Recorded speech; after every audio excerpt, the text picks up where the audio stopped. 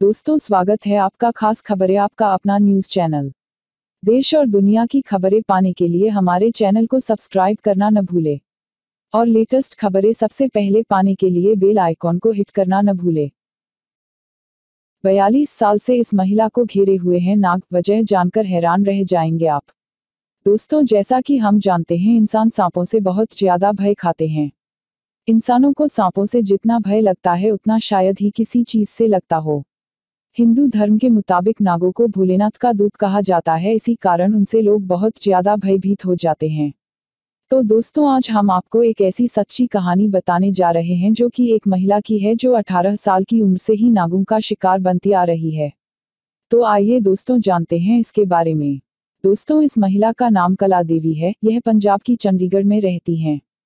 इस समय इनकी उम्र करीब 60 साल हो गई है। आपको यह जानकर हैरानी होगी कि इस महिला को 18 वर्ष की उम्र से ही सांप काटते आ रहे हैं। सात साल की उम्र तक इस महिला को सांपों ने करीब एक सौ इक्यावन बार कटा है।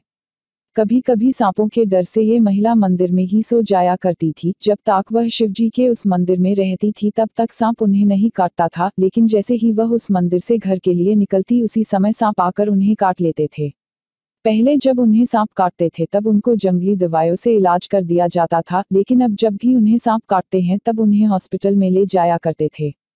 गौरतलब है कि इन्हें इतने बार सांपों के काटने पर भी कई बार वह हफ्तों और महीनों तक बेहोश पड़ी रही, पर फिर भी इतने दिनों तक बेहोश रहने के बाद भी मौत से लड़कर भी कई बार वह जीवित बाज गई।